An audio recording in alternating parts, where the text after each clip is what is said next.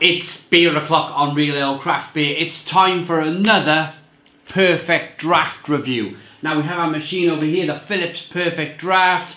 We've not put a keg in this for quite some time to be honest, so I'm looking forward to this one. Today we have a Hertog Jan.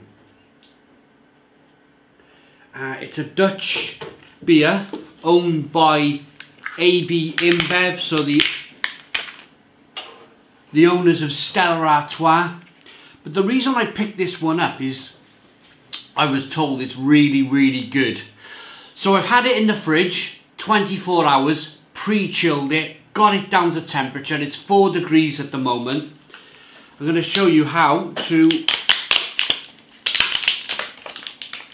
fit the line, fit the keg,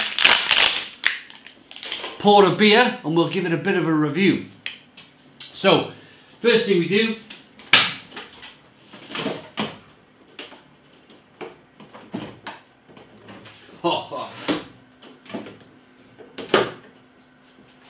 Here we go. Grab all your tap. Grab your line. You'll have a new line with every single keg. There's six litre kegs of beer you'll have a new line with each keg. Make sure you get a new line. They, they come attached with this bit of plastic when you're picking your keg up. Grab your line, feed it down. Wrong way. I haven't done this for quite some time. I was sticking it down there. Um, feed it down here like so. It'll get into that sort of position there where you can then click it into position. So your tap line now is fitted. This then sits on top of the keg. Bit of force, push it down. And there we go. We're fitted. We've got the Hertog Jan. The tap is connected. I tend to give that a little bit of a wobble. The back line there. Just to get it into position. And then you grab all of your keg slide it over.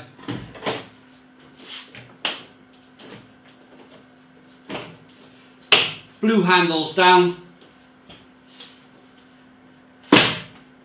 Shut your doors. Your machine makes a bit of a noise, brings it up to pressure, and then what will happen very quickly, as you'll see, we're saying 13 degrees at the moment on this Philips Perfect Draft, but it'll drop very quickly. I can tip this up a bit now. I, I lowered the, the camera so we could get the show you how to fit the tap. It's very quickly down to 11 degrees, so it's flying down. It's going to quickly go down to 4 degrees, which is ideal drinking temperature. So, on that note, on that very note, let's uh, grab ourselves a, a beer glass and show you how to pour a beer.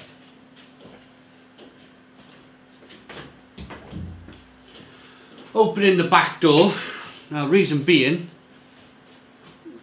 we're either going to throw some beer out the back door if we have a foamy bit of a foamy start or we're going to drink it. We'll, we'll see how we get on now. Machine's already down to 9 degrees.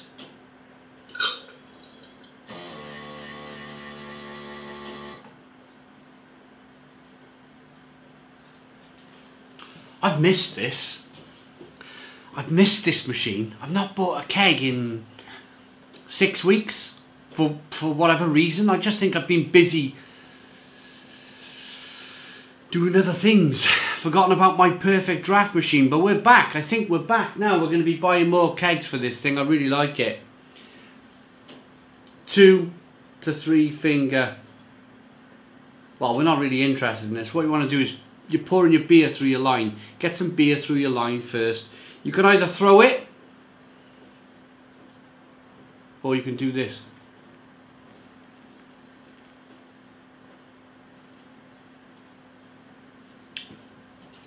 So you're doing two things here. You're getting some beer in your line. So you're not having the beer to travel down a beer line and, and foam up. There's already beer through the line now, so you've got a much better chance of pouring a decent beer. And the second thing you've done is you wet your glass, which again helps for a perfect pour. On that perfect pour, no pressure then, let's pour one. So handle straight down rather quickly. 45 degree angle on the glass.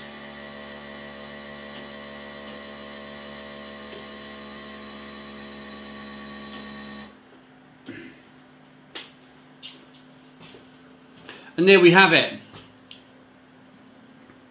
If you were in a Belgian cafe bar, in this case, with it being a Dutch beer, if you were in a Dutch bar, German bar, Czech bar, a European bar, then you would fully expect a head like this on your glass of beer.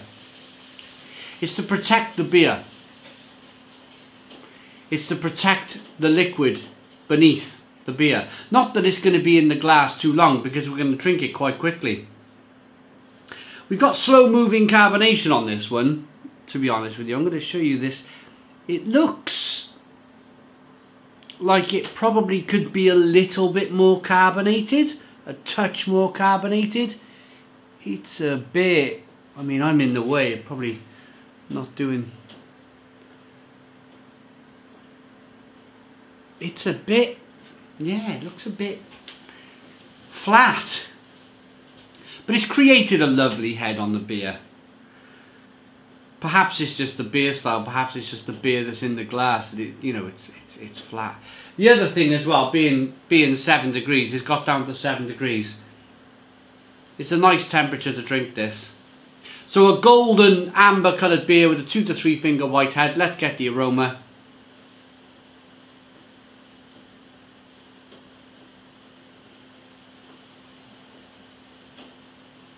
Smells like a good quality lager. A real kind of good quality 100% all malt lager. Citrusy and peppery on the back end. A little bit of sweetness to begin with. Let's dive in. Cheers everybody. The heavens are opening.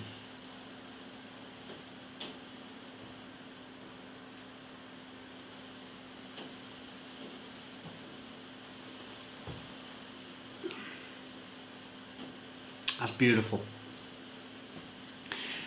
That is an absolutely fabulous pint of beer.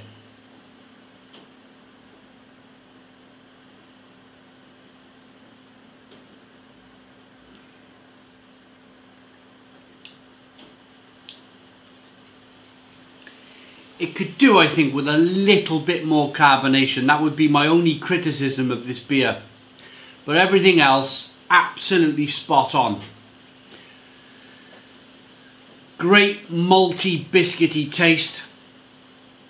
Citrusy and lemony and spicy on the back end. It's extremely drinkable for 5.1% ABV. And I'm going to be honest with you, I tapped this on a Friday morning. I always seem to tap my kegs on a Friday morning because we have the Stone Crow Virtual Pub. And since we've launched season two of the Stone Crow Virtual Pub, which is on every Fridays at 7pm. It's a live show where we have a few beers and catch up with mates online and just have a bit of fun. I've tapped it for tonight. I've tapped it for tonight. So I'll be drinking this Hertog Jan at the Stone Crow Virtual Pub tonight, 7pm.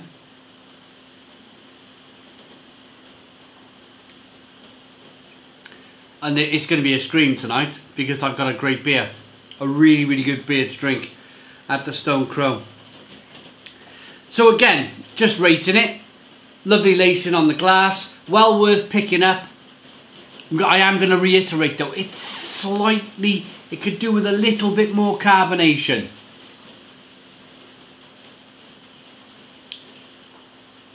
But rating for the Hertog Jan Lager, I like it enough to give it, it's an 8 out of 10. It's an 8 out of 10 from Real Ale Craft Beer. Please put your comments in the comments box, subscribe to our daily beer and food reviews, give us a big fat thumbs up. Boom! Cheers!